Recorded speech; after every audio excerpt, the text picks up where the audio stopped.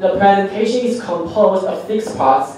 Introduction, description of RIPEMD-160, calculate the step differential probability, solve this equation, clean attack, and improve semi-free start clean attack.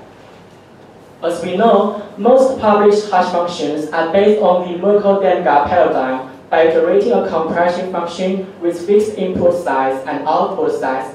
Therefore, a hash function can compress arbitrary long messages and output a fixed length hash value.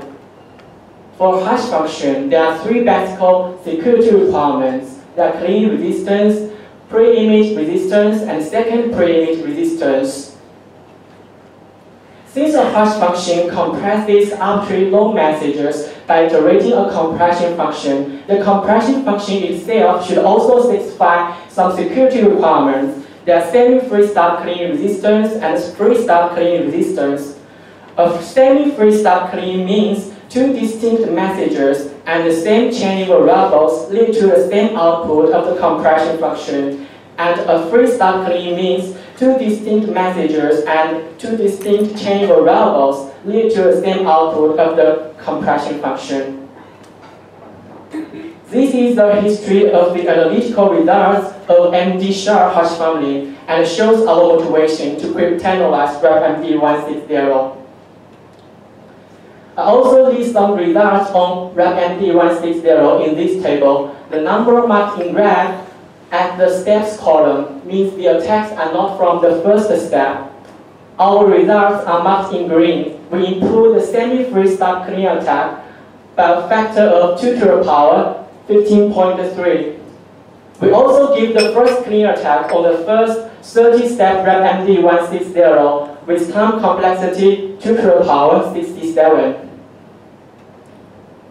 In this part, I will give a brief description of RIPEMD-160. The compression function of it is composed of two branches, the left branch and the right branch. Each branch consists of 80 steps divided into 5 rounds with 16 steps per round. And this is the step function used in both branches. Xi is the internal state used in the left branch, Yi is the internal state used in the right branch. Also, I introduced a temporary state Qi for later use.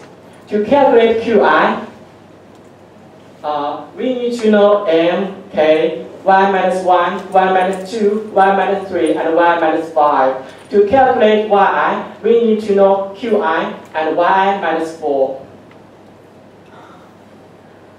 Okay, this part, I will introduce the open problem and give our method to solve it. At Asiacrypt 2013, Mendel proposed an open problem to calculate the step differential probability of RIPEMD-160. Since the step functions in both branch has the same form, we only consider the right branch and the left branch can be processed in the same way. Then, the open problem is how to calculate the probability that both the bit conditions of yi and the modular difference of yi are specified under the condition that all conditions of y minus 1, y minus 2, y minus 3, y minus 4, and y minus 5 are specified. In fact, in previous work, people only consider the bit conditions of yi, therefore it is difficult to give an accurate value of it. For simplicity, I will introduce two notations, nu and new. New represents the event the modular difference holds, and new represents the event the bit conditions hold. Our method to solve the open problem is to calculate the probability of an equation at first, which is used to ensure the modular difference can be correctly propagated. Then we, com we, com we calculate the probability of the bit conditions under the condition that the modular difference holds. In a word, we solve this problem by introducing a, the conditional probability. Now, I will describe how to construct an equation to ensure the modular difference can be correctly propagated. As shown in this figure, to ensure the modular difference of yi delta holds, we can construct an equation 1. By simplifying this equation, we can finally obtain the equation 3. Uh, given a differential path, the value of delta y i minus 5, delta f, delta m are all known. Delta and delta i minus 4 are all known. So, in this equation, C0 and C1 are non-constants, and Qi is a variable. Therefore, we can convert this problem into calculating the probability T satisfies this equation, where C0 and C1 are non-constants and T is a variable. Although Daum has solved it in 2005 in his PhD thesis, we try to reconsider this problem from a different perspective. And our new method will not only give a value of this probability, but also reveal some useful information of T. Uh, uh, for, for better understanding, we use a figure to describe the calculation of t plus c0, t rotate left, t rotate to the left by s bits plus c1. Uh, then the target is to calculate the probability r0 equals to r0 prime and r1 equals to r1 prime. To ensure r0 equals to r0 prime, there are two cases. The first case is the high s bit of C0 equals to the low s bit of C1. The second case is that the high s bit of C0 plus 1 equals to the low s bit of C, C1. To ensure R1 equals to R1 prime, there are also two cases. The first case is the low 32 minus S bit of C0 equals to the high 32 minus S bit of C1. The second case is that the low bit of C0 equals to the high 32 minus bit of C1 plus 1. Due to limited time, I only give an example here, and the general case can be processed in the same way. For example, we need to calculate the probability T satisfies this equation. Uh, firstly, uh, we write the constants in binary. As shown in the uh, table, to ensure R0 equals to R0 prime, carry 0 must be 1. To ensure R1 equals to R1 prime, carry 1 must be 0. To ensure carry 0 equals to 1, there are several cases. For example, the 19th speed of t equals to 1, or the 19th to the 18th speed equals to 0, 1. To calculate the probability carry 1 equals to 0, we can firstly consider the probability carry 1 equals to 1. To ensure carry 1 equals to 1, there are also several cases. For example, the 21st bit of t equals to 1. These are the details of how to calculate the probability carry 0 equals to 1 and carry 1 equals to 0. We call the 19th bit of t equals to 1 a possible characteristic of t and we call the 31st bit of t equals to 1 an impossible characteristic of t. In total, there are 17 possible characteristics of the low 20 bits of t and, still, and 3 impossible characteristics of the high 12 bits of t. Now, I will describe our method to to calculate the step differential probability. For better understanding, I will use this figure to describe the calculation of yi. Uh, given a differential path, the bit conditions of yi and y minus 4 are fixed. Uh, in other words, some bits of yi and y minus 4 are fixed. To ensure the modular difference can be correctly propagated, as stated before, we can construct an equation of Qi and can obtain the characteristics of the high S bits of Qi and the low 32 minus S bits of Qi. The characteristics of these two paths can be considered independent. Therefore, we can also divide the calculation of yi into two parts, the high 32 minus S bits and the low, the low S bits. The only link between these two parts is the carry. So we consider two cases. There is carry there is carry and there is no carry. For each case, we then can consider the two parts independently and the problem can be reduced to calculating the probability C equals to A plus B, where some bits of A, B, and C are fixed. For example, to calculate the four bit conditions on C hold under the condition that all bit conditions of A and B hold, uh, we can consider from the high bit to the low bit. It is an easy mathematical problem. We refer the interested reader to our paper for more details due to limited time. Okay, next part. I will give our method to solve this equation. Uh, firstly, we convert the right part of this equation into another form by introducing a temporary uh, variable C2. Then, given a chosen C1, C2 can only take the following four possible values. It is easy to verify this observation according to our method to uh, calculate the probability the modular difference holds in previous part. Then, based on this observation, we can simplify the calculation and finally obtain the equation 6. By exhausting 2 to the power such two possible values of t, we can pre-compute the solutions to the equation 6. Therefore, both the time complexity and memory complexity are 2 to the power such two. To evaluate the efficiency of our method to obtain the solutions, I will firstly give the expectation of the number of solutions. Given a fixed C0, given a fixed given a fixed uh, C0, uh, uh, one value of C1 will correspond to several solutions or no solution. For simplicity, I will introduce four notations. Each Epsilon represents the number of the solutions.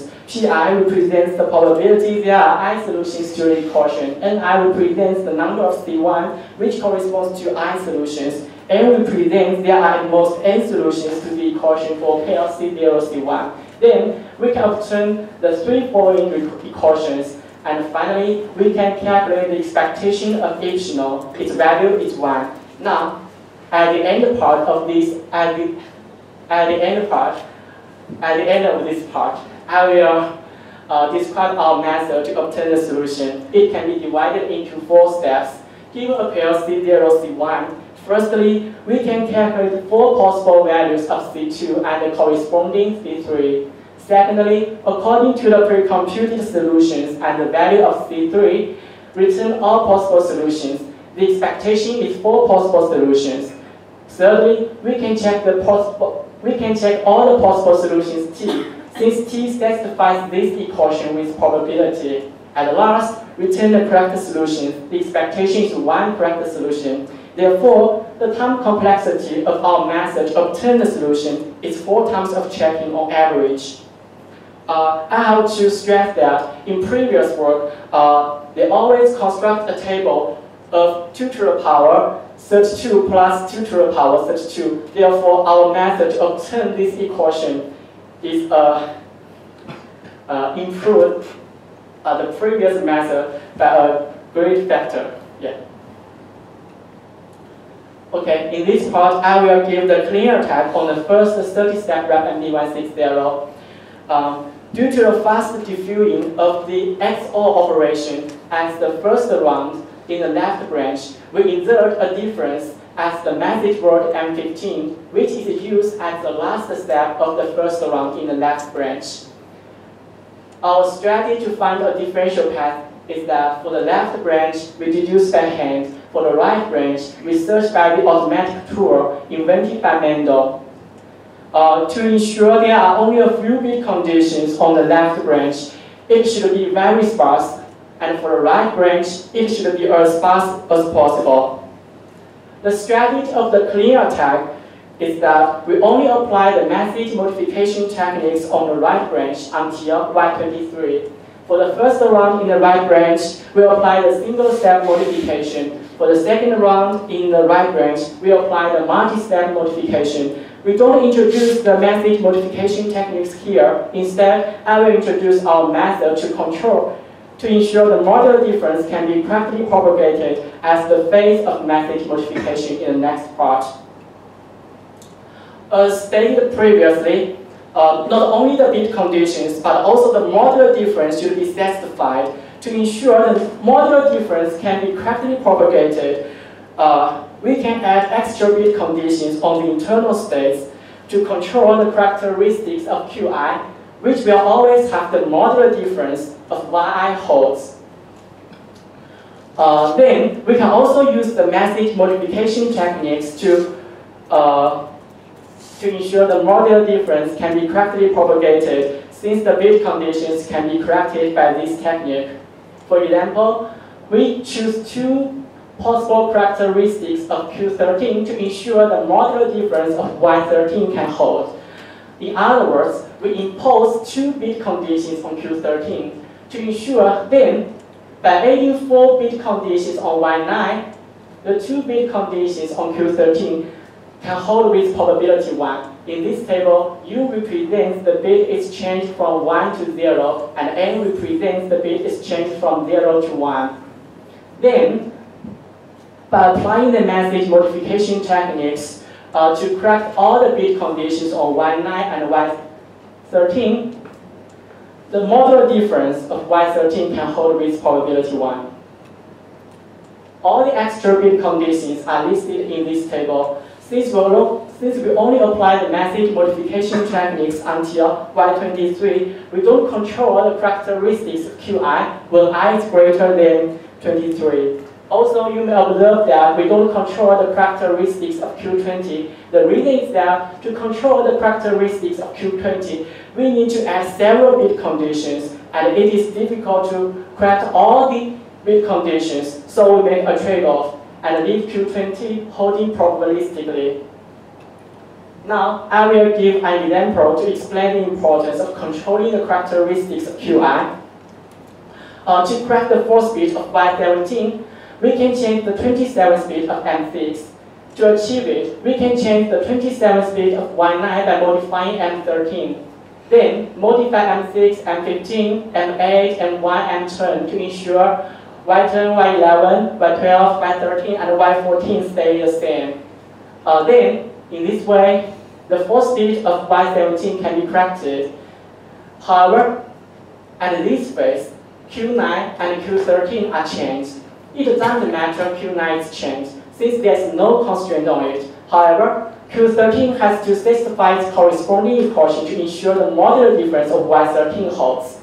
If we don't control the characteristics of Q13 and it is changed at this phase, uh, it may not specify its corresponding anymore.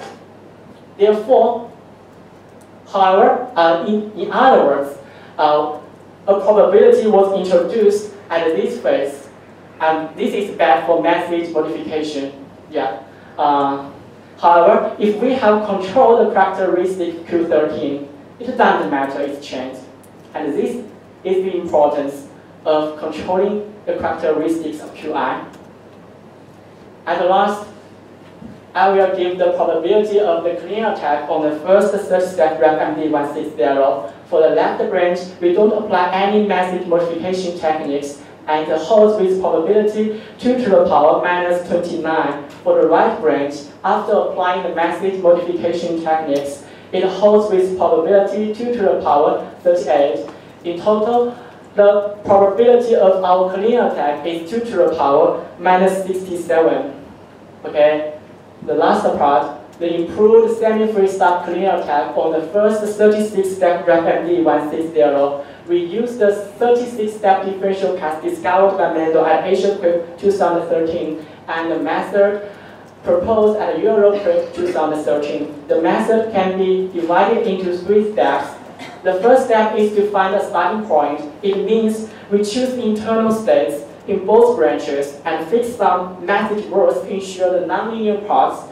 The second phase is merging. It means we use the remaining uh, free message words to merge both branches to ensure the chaining variables in both branches are the same by computing backward from the middle. The last phase is verification. It means the rest of the differential paths in both branches are verified probabilistically by computing forward from the middle. First of all, I will describe the difference between our work with Mendel's previous work at Asiacrypt 2013. The difference is that we leave the message word M3 as a free message word. It means M3 will be used as the phase of, as the merging phase rather than the phase of finding a starting point. In this way, although the latter part of the right branch won't be fully specified anymore, the successful probability of the merging phase can be improved by a factor of 2 to the power 32, and this is a trade-off um, to, as the merging phase, we need to compute backward. First, I will show the modular difference should be correctly propagated at this phase as well, and it seems that such an influence was neglected in previous work. As shown in this figure, To ensure the modular difference can be correctly propagated, we can obtain an equation of Qi, and then we can convert this equation into the form we have discussed previously. To, in order to eliminate the influence of the modular difference, we can pre-compute value M9 and corresponding M2. The details can be seen in our paper due to limited time. Okay. And then the only influence is the probability delta yi minus 1, y minus 2 equals to 0. Its value is 2 to the power minus 0.4. And this is the details of the merging phase. At step 1, we choose a value M9 and use X6, X7, X8, X9, X10, M8 to compute X5. At step 2, we use M8, X4, X5, X6, X7, X8, X9 to compute X4. At step 3, we choose a, a random M7 and compute until X2. At step 5, we choose a valid M2 and compute until Y0. At step 7, okay, and this, okay. Uh, at step 10, we can construct an equation based on x minus 1 equals to y minus 1 and x minus 2 equals y minus 2. According to our method obtain the solutions, we can, uh, we can compute x minus 1, y, y minus 1, x minus 2, and y minus 2. Uh, then we can compute x minus 3, y minus 3, and 14. And last, we can compute x minus 4 and y minus 4. Uh, the probability x minus 4 equals to y minus 4 is 2 to the power 32. And this is an instance obtained by running the above algorithm. At last, I will give the probability of the semi-free start clean attack. The probability of the merging phase is 2 to the power 32.4. according to our method to calculate the control probability, uh, the left branch, the probability is 2 to the power minus 8.1. The right branch is 2 to the power 17. Uh, I also, for the given starting point in our paper, I also test the actual values of it. For the left branch is 2 to the power 8 point, 2 to the power 8 minus 8. For the right branch is 2 to the power minus 16.68. In total, the probability of our clean, semi-free start clean attack is 2 to the power minus 57.5. That's all, thank you.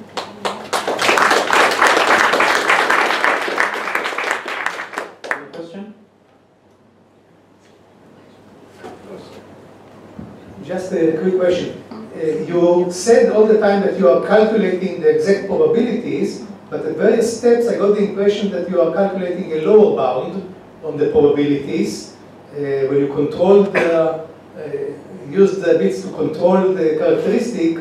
Uh, are you sure that you computed the exact uh, probability or only a bound of the probability? Oh, I think it's not an accurate probability, yeah. Because everywhere you write equal. Uh, for,